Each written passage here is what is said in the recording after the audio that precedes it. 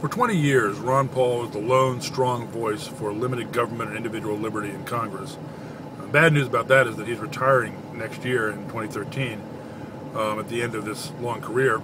Uh, but the good news is that here in Texas, we've really stepped up to the plate, and we have three candidates who already made it through to the runoff election, which massively increases their chances of getting elected, who hold the same values that Ron Paul does, um, and I think have a real chance of being elected to Congress. That means that we might put three Ron Pauls from Texas in Congress to replace the one we're losing. The candidates I'm talking about are Steve Stockman, Jessica Puente Bradshaw, and Wes Riddle. Um, they represent three different parts of the state, three different constituencies, but they all hold those same basic values of limited constitutional government, protecting individual liberties, keeping government out of our pockets and out of our, off of our backs, uh, limiting what government can do uh, to only those powers the government absolutely has to have, and reserving the rest for us as individuals. Um, these three candidates, Bradshaw, Stockman,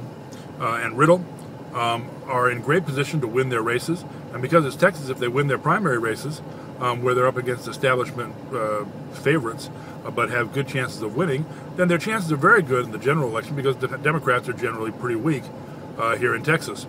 I'd really like everybody out there who hears this to try to support those candidates. Either go to their websites, look them up, um, and donate money if you can, or the Republican Liberty Caucus PAC, the RLC USA PAC, um, is doing a fundraiser over this weekend for those candidates. Um, you can go to rlcpac.org, uh, donate there, and the money we raise over this weekend is going to be given to those candidates so they can